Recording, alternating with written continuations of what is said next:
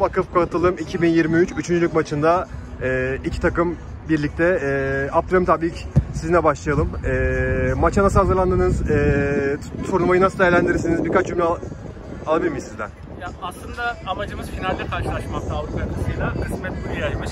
Yarı finalde zorlu maçları ikimiz de geride bıraktık. Her iki takım için de zor maçlardı.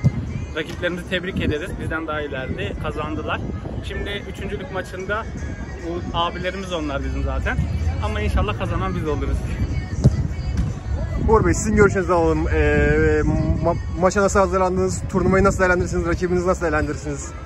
Birkaç cümle Öncelikle- anlatırsanız. Öncelikle turnuva öncesinde son şampiyon olarak bu turnuvaya katılmıştık. Son şampiyon olarak e, iki tane güçlü adamımızı kaybederek katılmıştık. Takviye yaptık. E, bu takviyelerden işte Turan kardeşimizin eli kırıldı. Ferit müdürümüz çok formdaydı. Ayağı kırıldı. E, çeyrek final maçında. E, yarı finale eksiklerle çıktık ama sonuçta 7 kişi çıkarak 8 kişi çıkarak iyi mücadele ettik. Açık ara kazandı. Finaldeler. Başarılar diliyorum. Her iki takım da iyi mücadele etti. Ee, Los Galacticos da buraya kadar gelene kadar çok iyi mücadeleler verdi. Sonuçta 3. 4. maçındayız. Her iki tar- e, takım için hayırlısı olsun. Sakatlıksız, kazasız bir maç olur. Kazanan vakıf katılım olacak inşallah. Peki çok teşekkür ederiz. Sizlere tekrardan başarılar diliyoruz maçınızda.